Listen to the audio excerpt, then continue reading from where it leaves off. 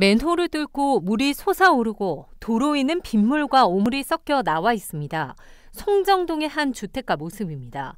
2019년부터 큰 비만 오면 오물이 뒤섞인 빗물이 역류했고 집안으로 물이 들어차기도 한다는 겁니다. 주민들은 부산시가 2018년 노후된 하수관로를 정비한 이후 연례 행사처럼 침수 피해와 악취의 고통을 겪고 있다고 말했습니다. 물도 올라오고 찌꺼기 잠깐 올라오고 그래 이게 안 되겠다 싶어 갖고 우리 아저씨들을 불렀어요. 불러가 저기로 탔습니다. 타니까네 지금 저런 상태가 일어나는 거예요. 주민들은 급기야 매립된 하수 관로를 확인해 보기로 했고 땅 속에서 기가 막힌 현장을 발견했습니다. 기존에 있던 개인 하수 처리 시설인 정화조 관로를 막는 대신 빗물과 폐수가 분리되어 있어야 하지만 이 관로가 하나로 합쳐져 있었던 겁니다. 관로에 줄을 넣어 오수의 흐름을 따라갔더니 하수 바지를 거쳐 하수 처리 시설로 가야 할 생활 폐수가 엉뚱한 곳으로 흐르는 것이 확인됐습니다. 빗물과 생활 폐수가 나오는 관이 분리되지 않다 보니 보시는 것처럼 빗물이 나와야 하는 곳에 이 폐수가 고여 썩어 있습니다.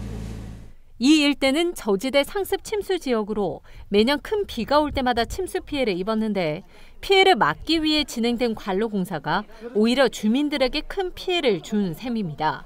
피해를 많이 입었어요. 물이 돌아갔고 저리 계단을 물이 돌아가 방을 물이 막 돌았어요. 뱅간 물이 이 집에도 요 세 동이 다 그래요. 물이 이만큼 찼어요. 2035년까지 100% 분류식 하수관로로 정비하는 부산시의 하수도 정비 계획에 따라 오수와 우수를 분리하는 분류식 하수관로로 설치해야 하는데 이렇게 합류식으로 공사가 된 이유는 무엇일까?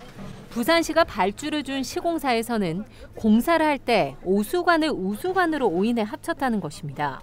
옛날에 그 당시에 연방을 했을 때이반두 개가 연방 쏘니까 그러니까 우수관이라서 우수로 이제 나오 합류됐다고 생각하고 이 관을 우수로 해서 이제 근데 그 당시에 우리가 놓친 그러니까 거야. 여기가 정하자고 그러니까 이 공사하는 이유가 정하자 옷을 빼기 위해서 공사를 하는 건데 네. 상식적으로 어차피 그때 이것도 다 잘랐을 거 아니에요 똥통 이, 이 라인도 연결하기 위해서 그러면 이게 똥통인데 냄새도 나고 다 눈으로 드러나는 건데 그게 확인은 안 됐다는 건 말도 안 되지.